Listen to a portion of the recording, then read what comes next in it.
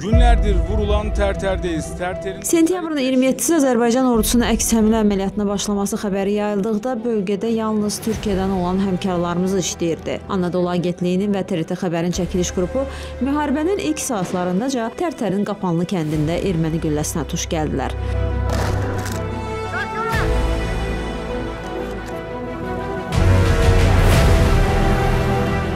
Düşmən çəkiliş qrupunun yerləşdiyi nöqtələrə min atanlarla atəş açdı. 3 ədəd top çəkiliş qrupunun 70-100 metrliyinə düşdü. TRT xəbərin müxbiri Fatih Havanos deyir ki, onlar həmin vaxt bir neçə gün imiş cəbhə bölgəsinə çəkiliş aparırlarmış.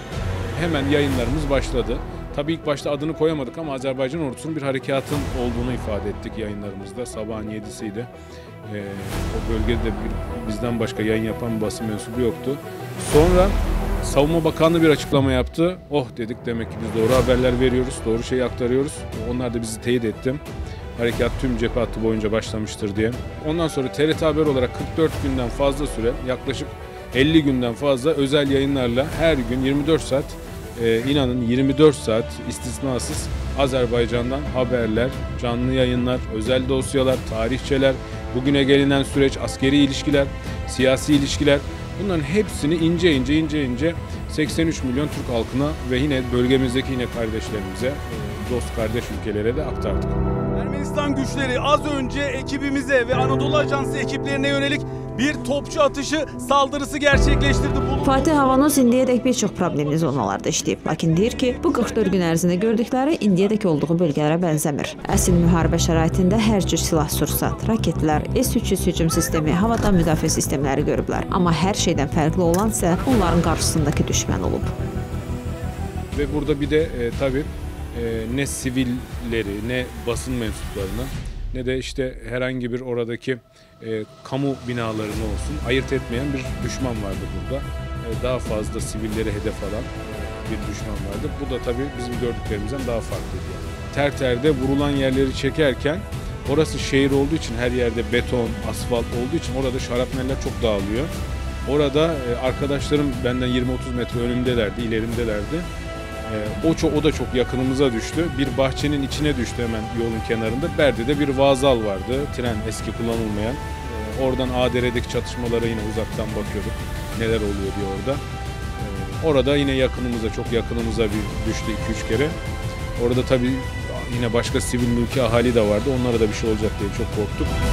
Ermenistan yine cepheyi açtı, sivillere hedef aldı. Genceliler Ermenistan saldırısına gece uykuda yakalandılar. Bütün dünyaya Gəncə terrorunu anladan kadrların müəllifinin özü həmin an nə hisslər keçirdiyini çatdıra bilmir. TRT Bakı ofisinin əməkdaşları oktyabrın 17-sində gecə saat 1 radələrində Gəncənin mərkəzi hissəsinə atılan raketdən sonra hadisə yerindən ilk canlı yayın verən jurnalistlər oldular. Çəkiliş aparan operator İlkin Umudov dağıntılar altından cansız körpə bədəninin çıxarılması anını unuda bilmir. O anda yəni heç unutmayacağım bir anılar da olar. İnsanların birdən yəni orada çox insan var idi. Birdən-birə qışqırmağa başladılar. Yol açın, yol açın, yol açın. Mən də həmin vaxtda e, kayda girmişdim, yəni zapis edirdim. Və bu anda e, Fövqəladə Hallar işçisinin, Nazirliyin işçisinin qucağında gedən yaş yarımlıq körpəni gördüm. Yəni cansız bədəni idi. Dua eləyirdi içimizdən, kaş ki canlı olardı, kaş ki yetişərdi. Həm də o qışqırtılar, o hayqırtılar içində mən e, Fövqəladə Halların işçisinin ağlamaq səsini duyurdum. Yəni bu ağlayaraq çıxardırdı oradan.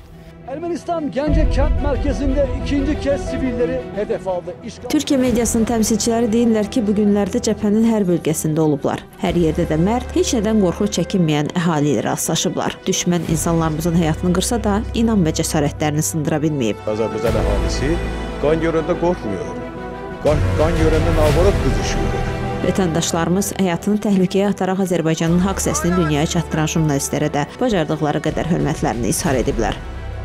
Mesela Adam'da yine arkadaşımla yayın yaparken bir köylü bir anda bir baktık çay destesiyle geldi, şiriniyatla geldi. Ya yoruluyorsunuz kaç saattir buradasınız diye. Diğeri başka türlü geliyor şiriniyat getiriyor, başka şeyler ikram ediyor. Ev sahibim bu ay benden icare almadı. Ya orada dedi hayatını tehlikeye atıyorsun bizim için dedi. Ne dediysem almadı, almayacağım dedi. Lütfen dedi, sarıldı bana. O duygus benim için çok duygusal bir andı. Biz o bölgələrə girirdik və işıqlandırırdıq evlərin, vətəndaşların e, vəziyyətini, yararlıların vəziyyətini, Gəncə hadisələri, Bərdə hadisələrində e, ən son məlumatları bütün dünyaya çatdırmağa çalışdıq və bu ən çox e, bu e, biz ən çox canlı efirlərlə, canlı yayımlarla bu hadisələri dünya mediasına, Türkiyə mediasına çatdırmağa çalışdıq. Bizim də istəyimiz əsasən Şuşa şəhərini həm görmək bir vətəndaş olaraq, həm də oradan canlı yayını can- canlı yayınlarla, proqramlarla e, xəbər hazırlayaraq bütün dünyanı ya çatdırmaq istəyirik biz bu hadisəni. Atışlar halen de devam ediyor. Burada hiçbir askeri mevzi yok. Həmkarlarımız deyirlər ki, savaş dövründə mediada xüsusi rejimdə fərqli qaydalarla işləməlidir. Bu mənada münaqişə bölgələrində işləmək üçün təşkil olunan təlimlərin böyük faydası var. Anadolu Agentliyinin əməkdaşı Rəsul Rəhimov dəfələrlə belə təlimlərdə iştirak edib və deyir ki, əldə etdiyi bilgilər onun və həmkarlarının həyatını xilas etməyə yardım olub. müharibə şəraitində necə çalışmaq lazımdır. Getdi ölkəni, e, tarixini, mədəniyyətini, oranın siyasi proseslərini və oradakı gedən e, prosesin nədən ibarət olmağını əvvəlcədən bilməlidir. Kesinlikle çatışmaların devam ettiği bir yerde değiliz. Burası Gence şehri tamamen sivil yerleşim yeri. Küçücük bir bebek çıktı. Cansız bedenine dokundum. Ben şimdi görüntüyü nasıl anlatayım Duygu?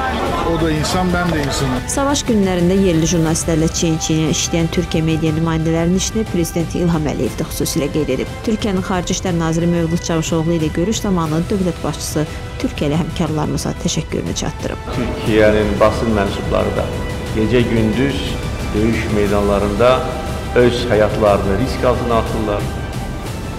Ve bu görüntüleri dünya daha çok Türkiye basını vasıtasıyla görür ve bilir. Bu e, bir daha Türkiye-Azerbaycan birliğini gösterir. Bu birlik sözde değil emelde. Ve bunu bugün bütün dünya bilir.